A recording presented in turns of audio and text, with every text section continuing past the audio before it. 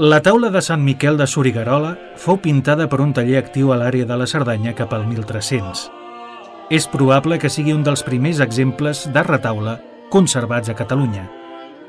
Encara que manté l'estructura apaisada pròpia del frontal d'altar, la narració s'estructura sense un eix central, a diferència del que era habitual als frontals romànics.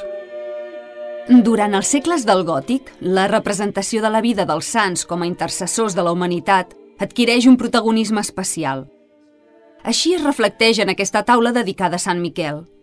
La narració s'inicia a l'esquerra amb l'aparició de l'arcàngel en forma de bou al mont Gargano. Un caçador ha disparat una fletxa al bou, però miraculosament la fletxa ha tornat en contra seu i se li ha clavat a l'ull. A la dreta es representa l'escena de la psicòstasi, és a dir, el moment en què Sant Miquel pesa les ànimes. Aquí, dos dimonis tramposos intenten guanyar-se l'ànima del difunt i emportar-se-la a l'infern, que es mostra a la part inferior de la pintura. Aquest espai inferior està presidit per Satanàs, que observa com uns diables atien el foc d'una gran caldera on cremen els pecadors.